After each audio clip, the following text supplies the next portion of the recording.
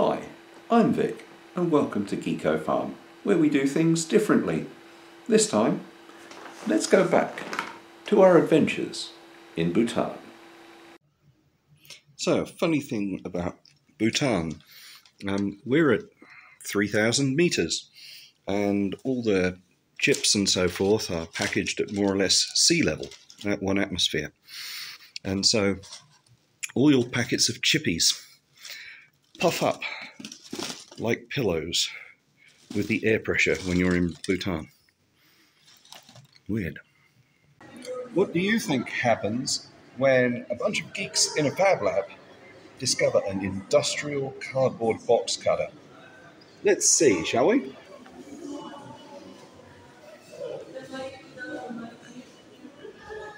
Yep, that's what geeks do with a whole bunch of cardboard boxes. Let's go find some beer. So everyone's seen 3D printers before. They print wonderful stuff. Uh, we got a couple like that, eh? Um, and as well as the wonderful stuff, there is the stuff that is left over. Uh, what we're going to do today is we are going to put bags of the stuff that is left over into a t-shirt press and turn it into something that is hopefully useful and yeah, with pretty patterns in it. Awesome. Hey, maybe we could arrange those deliberately. That would be great. All right. So let's get on with mucking about.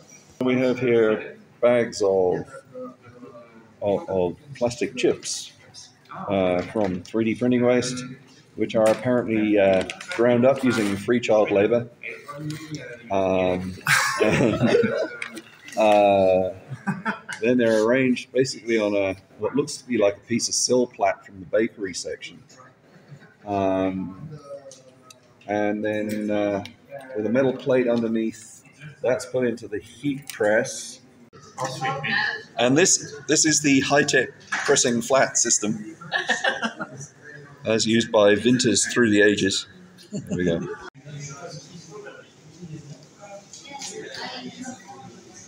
The ancient Fab Lab tradition of pressing the PLA. All right, show, show me show me your wondrous work. There we are. And now to the laser cutter.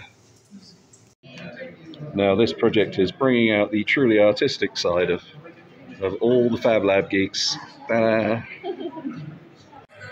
Okay, there's my my grandiose attempt at um, making your stuff up before and all right, Um, take it away. press. All right. Two minutes later. Seems uh, So this is after three minutes. squishy. squishy. Yeah, It's a bit squishy. Yeah, that's okay. All right, all right. Now we press the other. Sorry, that was the first one was for three minutes, and now it's two minutes at around 200 Celsius. There we go. Time passes, and You can uh, freeze a Right. wood board. now I have to and I, I have to spend some time standing on uh, on the board. Yeah. Your turn. Okay. Here we go. Squish, squish, squish. Yeah. Hey, I go all the way up to the top. What's going on behind? Oh yeah, yeah. You, you, you, you just keep on going. There we are. So now I, I have to do my my boogie board. Yeah. Right. Yes, Yes. you have to press. I have to press hard. I think, Yes. think heavy thoughts. Okay. Yes. Right. We can do that. Thinking heavy. Yes. All right. I'm bored. No, actually, that's the board. Let's see what's under the board. Yeah. Uh, lift it up. All right.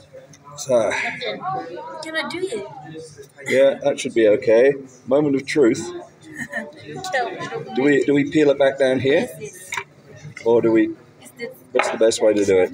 Uh, Just peel it off here. Any- Whoa. Nice. And there we are. And that that way up is the Geeko Farm logo, more or less. Probably less, but we'll go for more. Here we go, Kung Fu Panda. Yes. Awesome. Here we are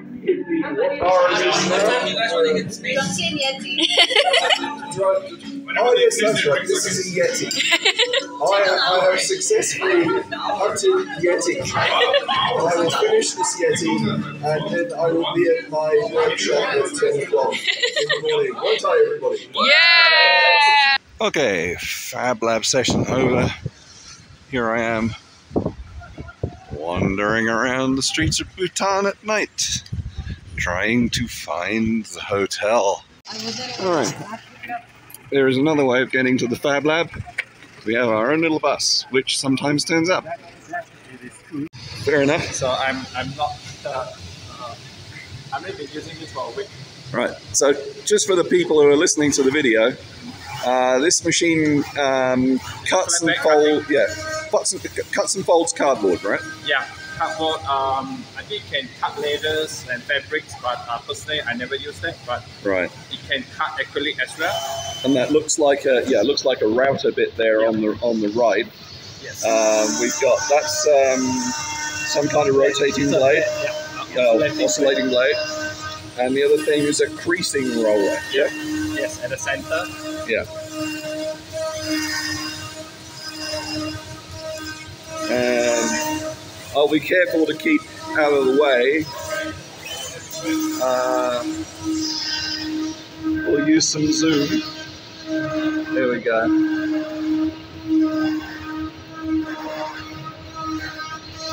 Trying to guess which way it goes.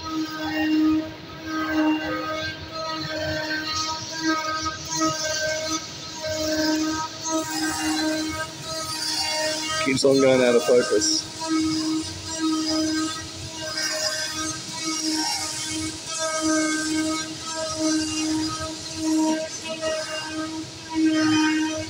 Anyway, this is the design that it's producing.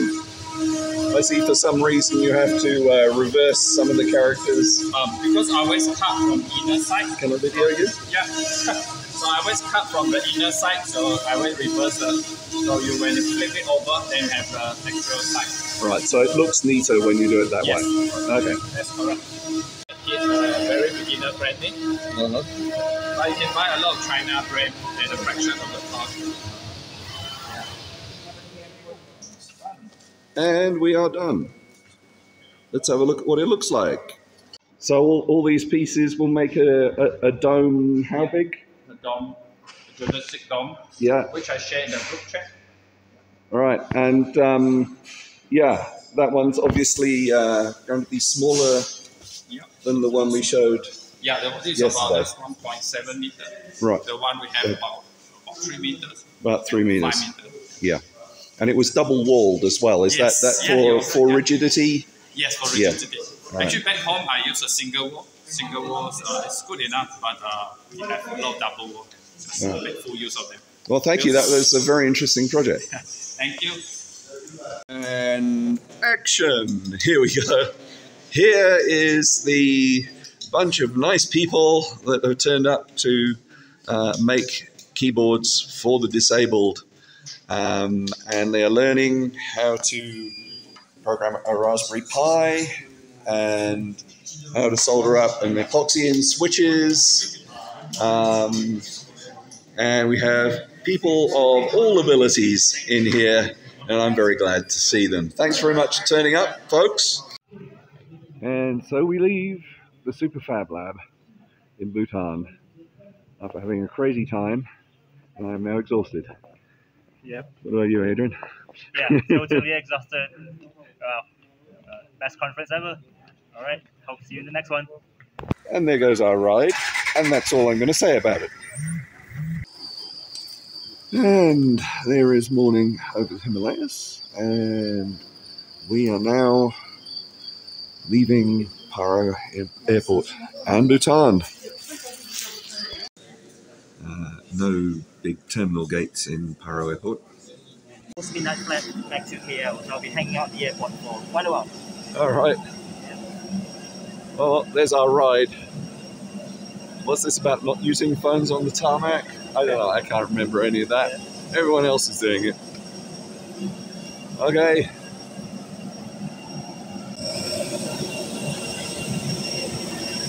Oh well. Goodbye, Bhutan. Off we go.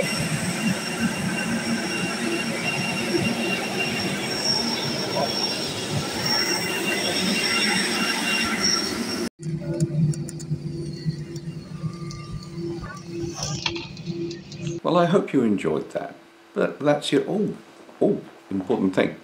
We are just two subscribers away from having 100 subscribers on YouTube. So please click like and subscribe so that we can get our cardboard YouTube button. But for now, that's your lot down on Geeko Farm.